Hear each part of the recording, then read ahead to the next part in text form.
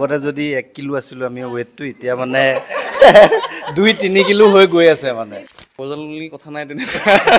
এহেঁতি actually কামুৰিছে actually ক'বলৈ গ'লে। নমস্কাৰ সকলোকে স্বাগতম জনাইছোঁ নিউজ এইটিন অসম নৰ্থ ইষ্টলৈ মই প্ৰীতি প্ৰিয়দৰ্শিনী। আৰু আজি মই এটা বিশেষ দলৰ সৈতে উপস্থিত আছোঁ। এখন বোলছবিৰ লগত জড়িত কিছু কলা কুশলী এনে এখন বোলছবি যিখন অসমীয়া বোলছবিয়ে ইতিমধ্যে সকলো ৰেকৰ্ড ব্ৰেক কৰিছে। এতিয়া তৃতীয় সপ্তাহত ইতিমধ্যে ছবিগৃহত চলি আছে খুব সফ- সাফল্যতাৰে চলি আছে বিদুৰ ভাই। আৰু সকলোৰে মুখে মুখে যিটো এটা বিষয় আজিৰ সময়ত আজিৰ আজিৰ এই দিনটোত আচলতে প্ৰত্যেকৰ মুখে মুখে এটাই কথা টীম বিদুৰ ভাই কেনেকৈ এই কথা সম্ভৱ হ'ব পাৰে? তাক লৈ সকলোৰে বিষয়ে সকলোৰে মুখে মুখে সেই কথা ইতিমধ্যে আলোচনা হৈ আছে। আৰু আমি সেয়েহে মাতি আনিলোঁ বিদুৰ ভাইৰ সমূহ কলা কুশলীক আৰু সকলোকে মই চিনাকি কৰাই দিম কিন্তু প্ৰথমতেই মই সুব্ৰতৰ ওচৰলৈ যাব বিচাৰিছোঁ। এই সমগ্ৰ আমাৰ ষ্টুডিঅ'ত যিসকল উপস্থিত আছে সকলো আমাৰ বিদুৰ ভাই ছবিখনৰ কলা কুশলী কিন্তু আমাৰ লগত প্ৰথমতেই যিহেতু সুব্ৰত আছে সুব্ৰত কাকতি। সুব্ৰত কাকতি হৈছে চিনেমাখনৰ ডাইৰেক্টৰ। আৰু এতিয়াৰে পৰা নহয় যেতিয়াৰে পৰা ৱেব ছিৰিজখন আৰম্ভ হৈছে তেতিয়াৰে পৰা এটা তেওঁৰ ক'ব লাগিব বেবী প্ৰডাক্ট তেনেধৰণৰ এটা আখ্যা দিয়া হয় বিদুৰ ভাইক। গতিকে সুব্ৰতৰ পৰা প্ৰথমতে প্ৰথমতে বহুত বেছি শুভেচ্ছা অভিনন্দন। Thank you thank you so' much আৰু আজি ইয়ালৈ আহি খুব ভাল লাগিছে নিউজ এইটিনৰ এণ্ড থেংক ইউ তাৰ লগতে যিহেতু এতিয়া সুব্ৰতক কোৱা হয় গোটেই বিদুৰ ভাই প্ৰজেক্টটোৰ পিতৃস্বৰূপ নিচিনাকৈ যে মাতৃ মাতৃ। অ'কে অ'কে মাতৃ কাৰণ মাতৃৰ পৰা আৰম্ভণি হ'ব। গতিকে মাতৃ বা পিতৃ বা অভিভাৱক হিচাপে তোমাক আখ্যা দিয়া হৈছে। তুমি বুলিয়ে কৈছোঁ কাৰণ সুব্ৰতৰ লগত মোৰ আচলতে খুব পুৰণা চিনাকি।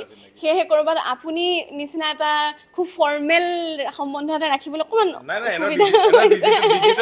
অলপ ইনফৰ্মেল হ'ব লাগে এইটো informal হৈ যায় সুব্ৰত। আহ, গতিকে অকণমান আমি সকলোকে তুমি যদি এবাৰ চিনাকি কৰাই দিয়া আমাৰ দৰ্শকসকলৰ বাবে তেতিয়া বেছি ভাল হ'ব বুলি ডেফিনেটলি ডেফিনেটলি হয় এয়া আমাৰ হৈছে প্ৰথমে পংকজ মহন্ত মেনেজাৰ দ্বিতীয়তে ডায়মণ্ড চলিহা হীৰকজ্যোতি বৰদলৈ তাৰপিছতে বলিন বৰা বলিন বিদুৰভাই দেন এয়া নিতু বিদুৰভাই নিতু খনিকৰ এয়া শৰ্মিষ্ঠা দাস মিনতী চৰিত্ৰত। এয়া স্নিগ্ধা ফুকন গীতালী চৰিত্ৰত আৰু এয়া ত্ৰৈলোক্য বৰুৱা দীপ দীপৰ চৰিত্ৰত। বঢ়িয়া। আহ, আৰু তাৰ লগতে প্ৰথমতে যিহেতু তোমাৰ লগত কথা পাতিছোঁ দুটামান কথা তোমাৰ পৰাই জানিব বিচাৰিম। প্ৰথমতে ৱেব ছিৰিজ আছিলে বিদুৰ ভাই। তাৰপিছত ইমান বেছি সফলতা প্ৰত্যেকটো চৰিত্ৰই ইমান বেছি মানুহৰ মাজৰ পৰা সহজভাৱে ওলাই যোৱা এটা চৰিত্ৰৰ নিচিনা। গতিকে সৰ্বত্ৰে আলোচনা ৱেব ছিৰিজখনক লৈ নামটোক লৈ কিছু মানুহৰ মাজত কৌতূহল হৈছিল। পিছলৈ সেই নামটো আচলতে এটা সন্মান এটা অভিমানৰ নিচিনা হৈ পৰিলে বিদুৰ ভাই। কেনেকৈ মন গ'ল যে এইখন চিনেমা বনাম মই?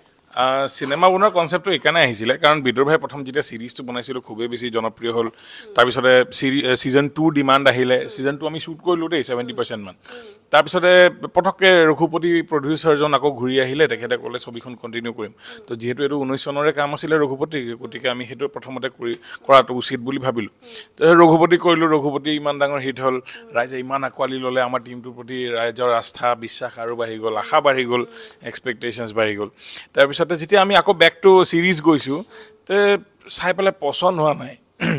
মানে অঁ মানে ৰঘুপতিৰ পিছত আমাৰ এক্সপেক্ট মানুহৰ এক্সপেক্টেশ্যন লেভেলটো যেনেকুৱা হৈ আছিলে আছে আছে আছে।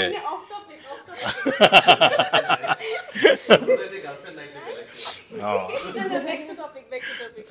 তাৰপিছতে ৰঘু কি কৈ আছিলোঁ মই? এই তাই যি টি কথা উলিয়াইছে। অঁ অঁ বিদুৰ ভাই ডেফিনেটলি ডেফিনেটলি অঁ তাৰপিছতে চিৰিজটো পচন্দ নোহোৱা হৈ থাকিলে নিজৰ। আমি পাতিলোঁ যে এইখন যদি দিওঁ মানুহে আমাক হাঁহিব। ইহঁতৰ পৰা ইমান আশা কৰিছিলোঁ ইহঁতে এইখনহে দিলে। এনেকুৱা নিচিনা হ'ব পাৰে। আৰু দ্বিতীয় এটা কথা হয় কি আমি বিদুৰ ভাইখন খুব পুৱৰ টেকনিকেল কোৱালিটিত কৰিছিলোঁ। যিহেতু ক'ভিডত কৰিছিলোঁ একো নালাগিব পাৰে কিন্তু মানে এজ টেকনিকেল পিপল মই জানো বা আমি টেকনিকেল মানুহে এইটো জানো। অঁ কাৰেক্ট চ' সেই আমি ভাবিলোঁ যে জনপ্ৰিয় বস্তু এটা যদি পুৱৰ কোৱালিটিত বনোৱা যায় তো নৱপ্ৰজন্মৰ কাৰণে এইটো বিৰাট ভুল শিক্ষা হ'ব যে তেওঁলোকেও গ্ৰহণ কৰি ল'ব যে এইটোৱে ভাল কোৱালিটি গতিকে সেইটো বিৰাট ভুল কথা হ'ব। সেইকাৰণে আমি সিদ্ধান্ত ল'লোঁ যে আমি পইচা পাতি খৰচ কৰি অকণমান ভালকৈ ছবি হিচাপে কৰোঁ যাতে আমাক পইচাটো ৰিটাৰ্ণ আহে। আৰু ইমান ডাঙৰ ইনভেষ্টমেণ্ট ৱেব ছিৰিজত কৰিব নোৱাৰি। আৰু দ্বিতীয় কথা আমি টেকনিকেল এনহেঞ্চমেণ্ট যাতে কৰিব পাৰোঁ। চ' সেইটো সেইখিনি উদ্দেশ্য লৈ আমি কৰিছিলোঁ ছবিক। আৰু সেই সিদ্ধান্ত শুদ্ধ আছিল বুলি ইতিমধ্যে প্ৰমাণিত হৈছে। ধন্যবাদ। আমি আৰু বহুত কথা পাতিবলৈ আছে সুব্ৰতৰ লগত। যদিও সময় বহুত তাকৰ আমাৰ ওচৰত তথাপি এতিয়া আৰু যিহেতু সকলো চৰিত্ৰৰ লগত জড়িত মানুহ আমাৰ ইয়াত আছে গতিকে মই বলিনৰ ওচৰলৈ এইখিনিতে আহিব বিচাৰিছোঁ। পিছলৈ বেক কৰি গাড়ী চলোৱাৰ পিছত এতিয়া চিনেমাত কেনেকুৱা লাগিছে? চিনেমাত বহুতে ভাল লাগিছে ৰাইজে ইমান মৰম দিছে। ই যিমান গহীনকৈ কথাবোৰ কৈছে সিমানেই জমনি মানুহটো সঁচা সঁচিকৈ।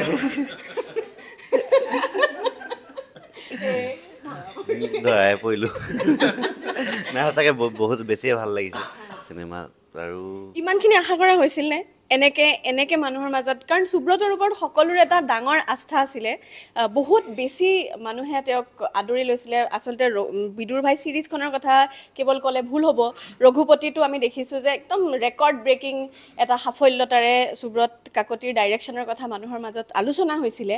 তাৰপিছত এখন চিনেমা। আমি কিন্তু দৰ্শক হিচাপে সাংঘাতিক বেছি উৎকণ্ঠাৰে বাট চাই আছিলোঁ। গতিকে তোমালোকৰ মাজত যিটো এক্সপেক্টেশ্যন আছিলে তাতকৈ বেছি নে ক'ৰবাত আৰু সেইটোলৈ গৈ থকা হৈছে? আহ, মানে ভাল পাব বুলি গম পাইছিলোঁ কিন্তু ইমান বেছি ভাল পাই যাব ভবা নাছিলোঁ।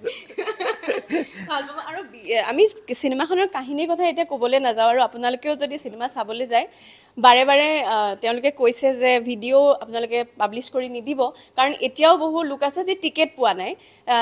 যিসকলে প্ৰিমিয়াৰ চাবলৈ হয়তো মাতিছিলে যাব পৰা নাই। সেইসকলে এতিয়া লগ পোৱা নাই। কাৰণ সকলোৱে চাই ল'লে চিনেমাখন। গতিকে আমি মেনেজাৰ ছাৰৰ ওচৰলৈ আহিছোঁ এইখিনিতে। তাৰ মাজে মাজে বহুত পাৰ্চনেল কথা কৈ থকা হৈছে। আপোনালোকে হয়তো বুজি পোৱা নাই কিন্তু টীমটোৰ কোনোবাই কোনোবাই ক'ৰবাত ক'ৰবাত কেনেবাকৈ বুজি পাই আছে। মেনেজাৰ ছাৰৰ ওচৰলৈ আহিছোঁ। ৱেব ছিৰিজৰ পৰা চিনেমালৈ ৱেব ছিৰিজৰ যিটো সাফল্যতা আৰু আমি গম পাইছোঁ যে পংকজ মহন্ত আন এটা বৃত্তিৰ লগতো জড়িত। গতিকে প্ৰথম কথাটো সেইটো যে কেনেকৈ সময়টো মিলোৱা হ'ল কাৰণ যথেষ্ট সময় দিয়া হৈছে চিনেমাখনক। সময়টো কেনেকৈ মিলোৱা হ'ল? ইণ্টাৰেষ্টিং কি গম পোৱানে? যে এই চিনেমাখনৰ নামত মোৰ এটা দিন চিৰিয়েল গৈছে মাত্ৰ। কেনেকৈ? মানে দিনটো স্কুল কৰোঁ আৰু সুব্ৰতে মানে দিনৰ চিনো মোৰ ৰাতি পেলাই দিয়ে তাৰমানে। ৰুমৰ ভিতৰবোৰ দিন কৰি দিয়ে তাৰমানে। লাইট কৰি দিয়ে দিন কৰি দিয়ে আৰু মই ৰাতি শ্বুটিং কৰি পেলাই পেলাই পিছদিনাখনি দুই ঘণ্টা তিনি ঘণ্টামান শুই দিওঁ আৰু। ৰাতিপুৱা আকৌ স্কুল মাৰি দিওঁ ধুনীয়াকৈ। মিলোৱা হৈছে। আৰু চিনেমা? সঁচাকৈ শিক্ষাৰ্থীৰ কথা বহুত ভাবে ডিৰেক্টৰচোন গতিকে সেইকাৰণে সঁচাকৈ। তুমিও আৰু অভিয়াছলি ভাবিবই লাগিব ন? যিটো বৃত্তিত আছোঁ সেইটো হাণ্ড্ৰেড পাৰ্চেণ্ট দিবই লাগিব। আৰু এটা কথা কি গম পোৱানে চবতে এইটো শিক্ষাৰ্থীৰ কথা যে ভাবিছোঁ বুলি যে কৈছে কোনো স্ক- স্কুল কলেজ বা বিশ্ববিদ্যালয়ত কিন্তু আমাৰ প্ৰমোশ্যন হোৱা নাই। ক্লাছ কেতিয়াও ক্ষতি কৰা নাই। গতিকে এইটো কিন্তু বিদুৰ ভাইয়ে পৰিয়ালে এই এইটো এটা অঁ। এটা পজিটিভ বাৰ্তা মানুহৰ মাজলৈ গৈছে যে এনেকৈও কৰিব পাৰি। ৰাইজ ওলাই আহিছে। ৰাইজ ওলাই আহিছে। আৰু সেই বস্তুটোৱে আচলতে প্ৰমাণ কৰে যে মানুহে প্ৰমোশ্যনৰ কথা কৈ থাকে। বাৰে বাৰে যে প্ৰমোশ্যন নোহোৱাকৈ এখন চিনেমা চলাব নোৱাৰি বা এটা ডাঙৰ হিৰ' এটা ষ্টাৰ কাষ্ট নোহোৱাকৈ এখন চিনেমা চলাব নোৱাৰি। কিন্তু এইসকল কলা কুশলীয়ে প্ৰত্যেকটো সেই তেনেধৰণৰ এটা যিটো টিপিকেল মাইণ্ডছেট মানুহৰ মাজত দেখা পোৱা যায় অসমীয়া মানুহৰ মাজত যে হল নাই টিকেট বিক্ৰী নহয় সেইবাবে নচলে। সেইটো সকলোবোৰ নস্বাত কৰিছে। আমাৰ লগত আৰু আছে মই আপোনাৰ ওচৰলৈ আহিব বিচাৰিছোঁ আপুনি ডায়মণ্ড ডায়মণ্ডৰ ওচৰলৈ আহিছোঁ। আহ, মই বিশেষকৈ আপোনাৰ কেৰেক্টাৰটোৰ বিষয়ে ৰাইজক বেছিকৈ জনাব নিবিচাৰিলেও আমি গম পাইছোঁ যে এটা ক'বলৈ গ'লে এটা নিগেটিভ ভিলেইন কেৰেক্টাৰত আপুনি আছে। গতিকে ভিলেইন কেৰেক্টাৰ থকাৰ বাবে ক'ৰবাত গালি খাইছে নেকি? গালি মানে দুই এজনে এনেই লিখিছে ফেচবুকত কিন্তু মোৰ এইটো ভাল লাগিছে। এইবিলাক মিছা কথা। ন অলৰেডি মই বিবাহিত দেই। মানে মই তো গতিকে এনেই লৈছে। পিছত নহ'লে সুব্ৰতৰ নিচিনা হ'ব। নহয় নহয় মই এনেইহে কৈছোঁ বুলি নাই নাই প্ৰপ'জেল বুলি কথা নাই তেনেকুৱা। এহেঁতি একচুৱেলি কামুৰিছে একচুৱেলি ক'বলৈ গ'লে। কি কৈ নহয় কি কৈ আছিলোঁ পাহৰি থাকিলোঁ নহয়। নাই নাই নাই নাই। প্ৰপ'জেল বুলি নহয় একচুৱেলি কি হ'ল?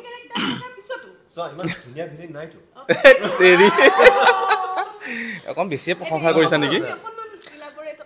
অঁ বহলাই সিহঁতি কৈ আছে বাৰু। মই থুলমূলকৈ কৈ থওঁ। প্ৰপ'জেল নহয়। মানে একচুৱেলি কি হৈছে কোনোবাই ভাল পাইছে মানে এটলিষ্ট কমপ্লিমেণ্ট এটা দিছে আৰু। সেইটোৱে। বেলেগ ধৰণে বুলি নহয় ভাল লাগিছে বুলি কৈছে কিছুমানে সমালোচনাও কৰিছে ধৰি লওক। অঁ। লাগিব। যিহেতু খুব সুন্দৰকৈ এখন চিনেমা চলি যোৱাৰ মাজতো কিছুমান বিতৰ্ক তেনেকৈ সাঙুৰ খাই পৰে আৰু কথাবিলাক। মই এইখিনিতে দুয়োজনীৰ ওচৰলৈ আহিম কিন্তু তাৰ আগতে তলিকদাৰ ওচৰলৈ আহিব বিচাৰিছোঁ। একেটাই কথা যিটো বলিনক সুধিছিলোঁ আপোনাকো সুধিব বিচাৰিম যে বিদুৰ ভাইয়ে আপোনাৰ মাজত কেনেকৈ এটা পৰিৱৰ্তন আনিছে? কাৰণ আপুনি বহুত আগৰ পৰা উম, এনেধৰণৰ অভিনয়ৰ লগত জড়িত। আৰু তাৰপিছত বিদুৰ ভাই সম্ভৱ হৈছে। বিদুৰ ভাই হৈছে যে ঘটিছে বুলিয়ে ক'ব লাগিব। তাৰপিছত এইবাৰ চিনেমাখন ৱেব ছিৰিজৰ পিছত।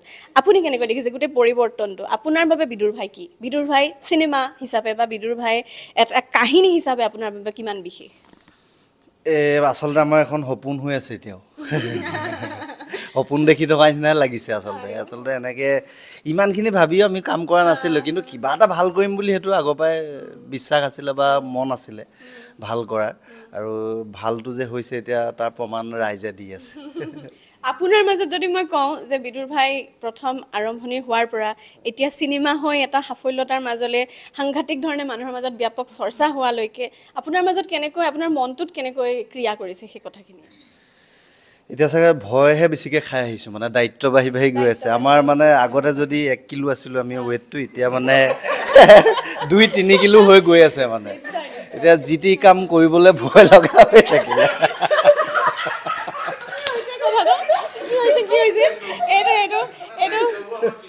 কিলোলৈ গুচি গৈছে।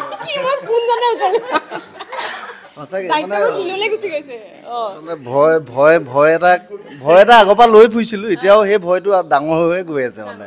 কিন্তু মানুহে ইমান মৰম দিয়াৰ কাৰণে তাৰ কাৰণে অশেষ ধন্যবাদ। ৰাইজে আচলতে বিদুৰ ভাইখন আমাৰ নহয় আচলতে ৰাইজৰহে। ৰাইজৰ এইখন মানে আমি বুলি ক'ব নোৱাৰোঁ মানে। হয়, হয়, হয়। হয়। আ- আমি স্নিগ্ধাৰ ওচৰলৈ আহিছোঁ। বহুত পুৰণি চিনাকি মোৰ তাইৰ লগতো। গতিকে গোটেই কাহিনীবিলাক যদি মই পিছলৈ ঘূৰি চাওঁ গোলাঘাটলৈ ঘূৰি যাওঁ এখন নাটকৰ কথা মনত পৰে। সোণ হৰিণীৰ চেকুৰ। সোণ হৰিণীৰ হৰিণীৰ চেকুৰখনত উপলব্ধি কৰিছিলোঁ যে সাংঘাতিক ধৰণৰ এটা টীম গঠন হৈছে যিটোৱে ক'ৰবাৰ পৰা সাংঘাতিক ধৰণে সেই বস্তুটো আগুৱাই লৈ যাব যিটো Golaghat M S R theatre হলত আৰম্ভ হৈছে। সেইটো সমগ্ৰ অসমত বিস্তৃতভাৱে বিয়পি পৰিব। স্নিগ্ধা সেই সমগ্ৰ যাত্ৰাটোৰ এটা সাংঘাতিক ধৰণে অংশ- অংশীদাৰী বুলি ক'ব লাগিব। তুমি কেনেকৈ চাইছা এই গোটেই যাত্ৰাটো? গোটেই যাত্ৰাটো মানে আমি যিহেতু চবেই একেলগে এটা সপোন দেখিছিলোঁ। চিনেমা আমি যেতিয়া সোণহৰিণৰ চেকুৰ কৰিছিলোঁ তাৰ পিছতে আমাৰ এটা সপোন আছিলে যে আমি এখন চিনেমা কৰিম। আৰু সেই সপোনটো এতিয়া বাস্তৱত পৰিণত হ'ল খুবেই সুখী। আৰু তাতোতকৈ বেছি সুখী ৰাইজে ইমান বেছি মৰম দিছে। এই টীমটোৰ লগত ইমান দিনৰ পৰা এইটো নিশ্চিতভাৱে সকলোৰে সাংঘাতিক এটা ডাঙৰ অৱদান আছে বুলি ক'ব লাগিব। প্ৰত্যেকজনে ইমান স্বতঃস্ফূৰ্তভাৱে জড়িত যে সেই কথাটোক বেছি ডাঙৰ কথা হৈ গৈছে মানে। কেনেকৈ মানে ইমান সকলোৱে স্বতঃস্ফূৰ্তভাৱে ইজনে সিজনক কেনেকৈ আগুৱাই লৈ গৈ আছে? আমি। আমি। সেই কথাটো কেতিয়াবা প্ৰায় মানে দেখা পোৱা যায় যে চিনেমাবিলাকত বা চিৰিয়েল বা যিকোনো ধৰণৰ এটা ডাঙৰ টীমত সম্ভৱ হৈ নুঠে। গতিকে এই টীমটোৰ লগত আৰম্ভণিৰে পৰা জড়িত হৈ তুমি কি কি দেখিছা? ভাল বেয়া যি আছে চব আমি একেলগে দেখিছোঁ মানে। দুখ সুখ যি আছে হয়। অঁ চব একেলগে দেখিছোঁ। সেইটোৱে কৈছে ন আমি আমি হৈ আছোঁ কাৰণে চাগে গোটেইখিনি একেলগে যিটো সপোন দেখিছিলোঁ সেইটো ৰাইজৰ আগলৈ ইমান ধুনীয়াকৈ আমি দিব পাৰিছোঁ। ধন্যবাদ। তাই ভাবিছে হ'ল দেই। হৈছে হৈছে নে এতিয়ালৈ মই ঠিকেই বাৰু সেইটোৱে। পংকজ দাই ইমান ধুনীয়াকৈ কয়। তাৰপিছত অঁ আৰু মোৰ কি জানানে? অঁ আৰু মই মানে যেনেকে তেনেকে কথাবোৰ কৈ দিওঁ নহয় সুমনে কৈ থাকে মাইনা অকণমান এই চৌ চৌব্ৰত অঁ তো অঁ ঘৰত মানে আমি অঁ তো মানে কয় যে মাইনা অকণমান ইমান ৰাফকে নকণ ভালকে ক'বাচোন। এই নোলায়গে দেখোন নহয়গে কিয় বা বেছিকে কৈ দিওঁ মই যিমান হ'লেও মানে শ্বৰ্টকে কৈ পেলাই কথাকেইটা থৈ দিওঁ। মানুহে ভাবে এজনী কি বা কৈছে কিন্তু মই তেনেকেই কওঁ আমি তেনেকৈ আড্ডা মাৰি আছোঁ যিহেতু। মই তোমাৰ ওচৰলৈ আহিব বিচাৰিছোঁ যেতিয়া আৰম্ভ হৈছিলে যেতিয়া প্ৰথম ছিৰিজখন চাইছিলোঁ তেতিয়া ভাবিছিলোঁ ইমান অকণমানি ছোৱালীজনীক ইমান ধুনীয়াকৈ কেনেকৈ তাত এষ্টাব্লিছ কৰিব পাৰিছে। এইবাৰো চিনেমাখনত বিভিন্নজনে কথা পাতিছে যে এনেকুৱা বহু চিন আছে য'ত অলপমান যদি ডাইৰেকশ্যনৰ খেলি মেলি হয় চিনটো বিৰাট বেয়া লাগিলেহেঁতেন দেখিবলৈ। কাৰণ ডাইৰেকশ্যনতে গোটেই বস্তুটো নিৰ্ভৰ কৰে। সুব্ৰতৰ লগত একেলগে কাম কৰাৰ অভিজ্ঞতাটোৰ বিষয়ে তোমাৰ পৰা জানিম। বহুত বেছি ভাল। সেইটো আচলতে ভাষাৰে বুজাব নোৱাৰি। তেনেকৈ বুলি কৈ দিলে আৰু চমুৱাই থৈ দিব পাৰি। সঁচাকে যোনে যোনে কাম কৰিছে চবেই ক'ব সঁচা। সঁচাকে। মানে যোনে যোনে কাম কৰিছে চবেই ক'ব। সেইটো কথা।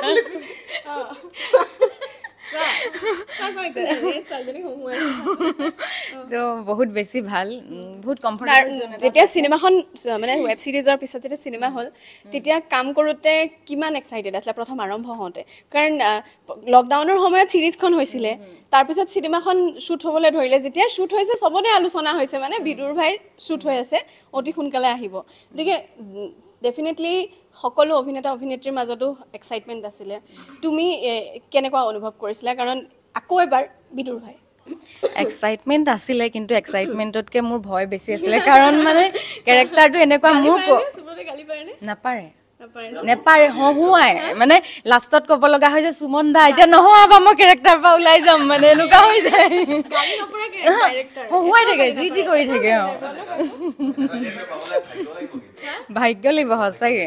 ইমানেই হহুৱাই ইমানেই হহুৱাই মানে এই আৰু খং কৰিবলৈ নাথাকেই। মই তাকে কৈছোঁ আজি তোমাৰ অন্তৰখন ইমান কোমল তুমি নোকোৱাই বেয়াকে মানুহক এনেকৈ বুলি কৈছে। অঁ মোৰচোন নোলাই বেয়াকে এনেকৈ কৈছে? ঠিক আছে মই আপোনাৰ ওচৰলৈ আহিব বিচাৰিম। যিহেতু আমি দেখিছোঁ যে এটা মুখ্য চৰিত্ৰত বিদুৰ ভাই ৱেব ছিৰিজৰ পৰা চিনেমালৈকে আপুনিও এটা সাংঘাতিক ধৰণৰ অংশীদাৰী এই গোটেই ৱেব ছিৰিজখনৰ পৰা চিনেমা হোৱাৰ গোটেই প্ৰক্ৰিয়াটোত।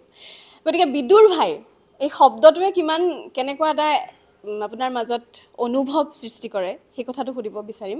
কাৰণ বিদুৰ ভাই বুলি কোৱাৰ লগে লগে অ' এই তিনিজন বিদুৰ ভাই সেই কথাকেইটাই মানুহৰ মনলৈ আহে। এতিয়া দেখা পোৱা গৈছে যে অ' এই আমুককেইটা বিদুৰ ভাই। গতিকে বিদুৰ ভাই বুলি ক'ৰবাত নিশ্চয় কোনোবাই মাতিছে? এতিয়া? বিদুৰ ভাই বুলিতো আমাৰকেইটাক মাতে কিন্তু আচলতে বিদুৰ ভাই কোনো নাছিলে মানে। ইয়ে বিদুৰ ভাই এনেকুৱা ধৰণৰকৈ নাছিলে আৰম্ভ কৰোঁতে। মানুহে ক'ৰবাত ক'ৰবাত চিনাক্ত কৰিছে যে এইকেইজন ভাই এনেকুৱা টাইপ কৰি দিলে মানে এতিয়া কথাটো। যেনেকৈ পংকজ দা মেনেজাৰ হৈ থাকিলে।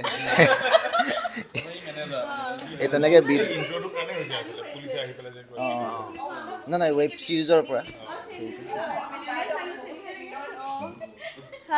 এতিয়া ক'ব লাগে। ক'ব লাগে। এ, তেনেকৈ বিদুৰ ভাই বুলি মানে এইকেইজনকে বিদুৰ ভাই কৰি পেলালে। বা এতিয়া এই চিনেমাখনৰ ইণ্ট্ৰটো তেনেকৈ হ'ল পুলিচজনে আহি পিনে তেনেকৈ কৈছে ট্ৰেইলাৰত দেখিছে। তেনেকৈ বিদুৰ ভাই তেনেকেই বিদুৰ ভাই হ'ল। আকৌ মই সুব্ৰতৰ ওচৰলৈ আহিম। কাৰণ বহুত কথা সুব্ৰতৰ পৰা জানিবলগীয়া আছে। Root Stock Entertainment. Root Stock এণ্টাৰটেইনমেণ্টৰ ওপৰত এতিয়া মানুহৰ সাংঘাতিক ধৰণৰ এটা আস্থা আহিছে যে যেতিয়াই এই প্ৰডাকশ্যন হাউচটোৱে কিবা এটা কৰিব ইহঁতে সাংঘাতিক কিবা এটা কৰি পেলাব। সেই আস্থাটোলৈ কেতিয়াবা ভয় লাগিছেনে? ডেফিনেটলি ভয় লাগে। এইটো সদায় চেলেঞ্জিং লাগে। যেতিয়াই এটা ষ্টেপ দিওঁ তেতিয়াই এইটো ভাবিব লগা হয় অডিয়েঞ্চে কেনেকৈ ল'ব। অডিয়েঞ্চে ভাল পাবনে নাই? আমি ইনফেক্ট এই স্ক্ৰিপ্টটো লিখোঁতে বিদুৰ ভাই স্ক্ৰিপ্টটো লিখোঁতে একদম from the first dialogue first ডাইলগৰ পৰা এইটো মাইণ্ডত ৰাখি লিখিছোঁ যে আমি এটা চিনেমা হলৰ ভিতৰত বহি আছোঁ। আমাৰ কাষে চাৰিওফালে দৰ্শক আছে।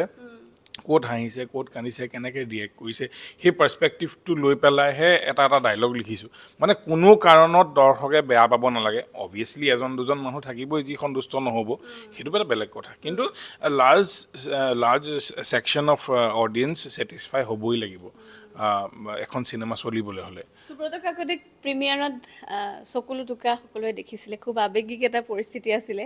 যিটো ভিডিঅ' চাই ক'ৰবাত চিনেমা ভাল পোৱা প্ৰত্যেকজনে যি ক'ৰবাত জানে যে এনেধৰণৰ সংঘাতৰ মাজেৰে অসমীয়া চিনেমা এখন আগবাঢ়ে তেওঁলোকেও সেই কথাটো অনুভৱ কৰিছিলে। সেই অনুভৱখিনিৰ কথা জানে। আচলতে মই চকুলো ওলাইছিলে বুলিয়ে নহয় চবৰে চকুলো ওলাইছে। আৰু ইনফেক্ট ইনফেক্ট অডিয়েঞ্চৰো চকুলো ওলাই সেই সেই সময়টোত। বহুতখিনি অডিয়েঞ্চ আমি যেতিয়া হল ভিজিট কৰি আছোঁ এতিয়া অডিয়েঞ্চক কৃতজ্ঞতা জনাবলৈ লগ কৰিবলৈ ফিডবেক ল'বৰ কাৰণে আমাৰ চিনেমাখন যেতিয়া শেষ হয় বহুতে খুব ভাল পায় বা কিবা হয়। কিছুমান অডিয়েঞ্চ আহে আমাৰ ওচৰলৈ চকুলো লৈ পেলাই আহে সাৱধি ধৰে। গতিকে এই আৱেগিক চিটুৱেশ্যনবোৰ মোৰ ইনফেক্ট মোৰ পৰহি এটা ঘটনা হ'ল ক'ব বিচাৰিম। অঁ।